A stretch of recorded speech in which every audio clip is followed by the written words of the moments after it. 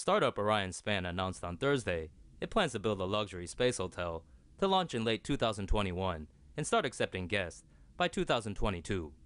A 12 day stay at Aurora Station will begin at $9.5 million. The space station will be roughly the same size as a large private jet cabin.